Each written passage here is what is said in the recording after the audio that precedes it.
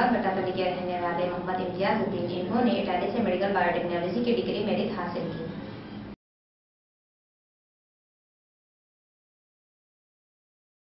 हैदराबाद स्वामी जी की पहुँच दिल्ली तक है। परिपूर्णता स्वामी को शहर हैदराबाद से ताड़ीपत्री करने के अहकाम राज्यसभा पर एमपीवी सीनियर एडवोकेट सुब्रमण्यम स्वामी ने की तनकीद। मरकजी हुकूमत को लिखा एक लेटर टीआरएस हुकूमत के खिलाफ।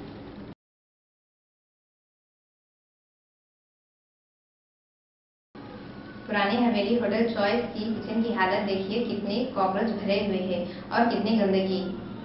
कल रात नहारी मंगाने पर मालूम हुआ कि नहारी के कवर में भी कॉकरोच भरे हुए हैं। तभी होटल जाकर बोलने पर होटल के ओनर मुनीर साहब ने कहा कि जो करना है कर लो। दबेलपुरा पीएस में केस दर्ज। अब देखना यह है कि पुलिस इस पर क्या एक्शन लेगी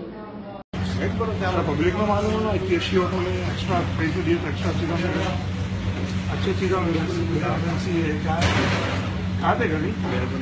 आओ कभी? आओ जी तुम कभी अच्छा लगेगा क्या बोलेंगे अब तुम्हारे तुम? आओ बोलो मैं क्या बोलूँ अब बोलेंगे क्या तुम्हारे क्या बोलते यार तुम्हारी गलती है ना। गलती है बोले ना जी। हाँ, तो क्या बोलेंगे? और क्या बोलेंगे? गलती और नहीं बोल रही घूमने खाते हैं। क्या डालो क्या लड़ना चाह रहे हैं? क्या करना चाह रहे हैं तुम? क्या करना क्या चाह रहे हैं? बोलो।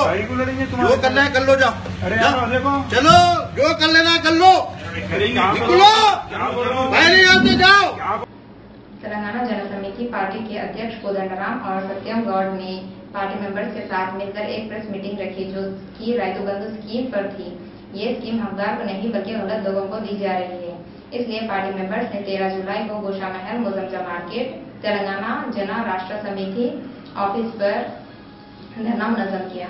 तेलंगाना जना समिति मैं मोहम्मद करीम खादरी, आज़ाद न्यूज़ से, हमारे रामचंद्र साहब है, जो कोडंडाराम साहब तेलंगाना पार्टी के लिए हाईवे सामने।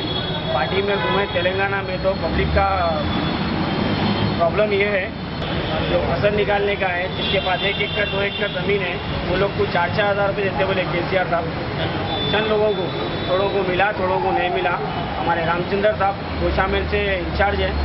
उन्होंने कुछ बोलेंगे अपने मुँह से ముఖ్యమంత్రి గారు जो రైతు బంధు స్కీమ్ తీసిరు కానీ అందులో చాలామందికి రైతులకు న్యాయం జరగలేదు భూమి భూమి చాలా ఎక్కల మీద ఉన్న యాభై ఎక్కలు వంద ఎక్కలు రెండు వందల ఎక్కలు ఉన్న వాళ్ళకే లాభమైంది చిన్న రైతులకు సన్న రైతులకు మాత్రం లాభం కాలేదు దాని వలన చాలామంది రైతులు పరేషాన్లో ఉన్నారు వాళ్ళకు పట్ట పుస్తకాలు ఇస్తామని పాస్బుక్లు ఇస్తామని చాలాసార్లు చెప్పారు చెప్పారు.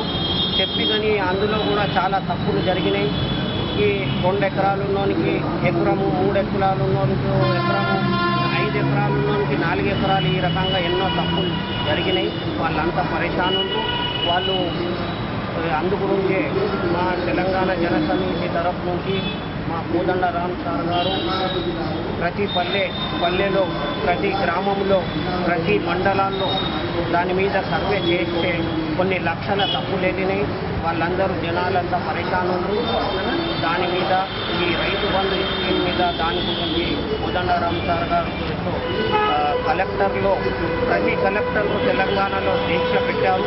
ప్రతి కలెక్టర్లో కూడా దీక్ష చేయడానికి మా పార్టీ వాళ్ళకు అందరికీ ఇక్కడ ఉన్న అక్కడ ఉన్న జనాలు ఎవరైతే ప్రాబ్లంలో ఉన్నారో వాళ్ళందరికీ కూడా ఈ అవకాశం దీక్ష చేయడానికి అనుమతించారు ప్రజలందరూ ఏకమయ్యి ఈ దీక్షలో పాల్గొంటున్నారు రైతులు ముఖ్యంగా రైతు బంధు పథకం కింద ఈ దీక్ష చేయడం तेलंगाना में प्रॉब्लम ही है साहब अभी तक तो ये जो प्रॉब्लम है तेलंगाना बनिजर से हाँ साहब ये कई तरह की राइतु स्कीम है इसके लिए लगा है एक्चुअली राइतु जो है जो काम कर रहा खेती बाड़ी कर रहा किसान है इन लोगों को दिए तो अच्छा था मगर जिसका नाम पे जमीन है उसको एक एक को अढ़ाई लाख तीन लाख रुपए चार लाख रुपए भी आए सौ ऐसे का कहीं भी जो नीचे काम करने वाले खेती बाड़ी कर रहे हैं, उन लोगों को कहीं को नहीं मिला।